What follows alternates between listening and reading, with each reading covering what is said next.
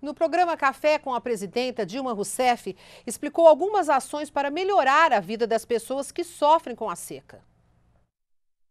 No Nordeste, por exemplo, estamos levando assistência técnica, sementes, recursos e o programa de aquisição de alimentos para 250 mil agricultores familiares.